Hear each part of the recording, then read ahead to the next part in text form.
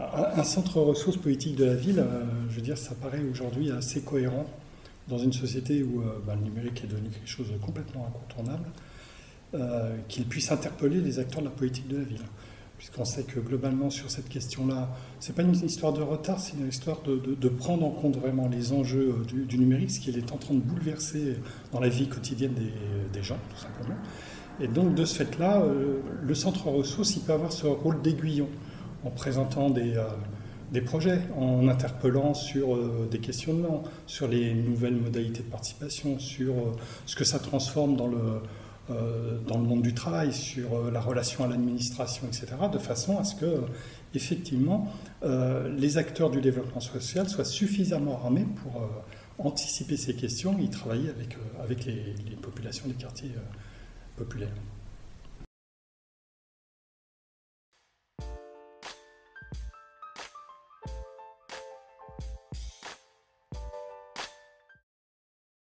Moi, je pense que le premier axe, Rien ne peut s'en faire sans que les décideurs euh, soient vraiment impliqués et vraiment euh, légitiment l'action des, acteurs de terrain.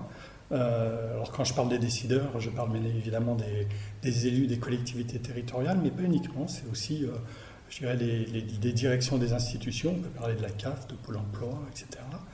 On peut parler des présidents d'associations, hein, qui dans ce rôle euh, de, conduite des associations, de, la conduite du projet politique des associations, peuvent euh, avoir leur poids euh, pour mobiliser les acteurs du développement local sur la prise en compte de ces questions, de ces questions du numérique. Ça me paraît assez essentiel.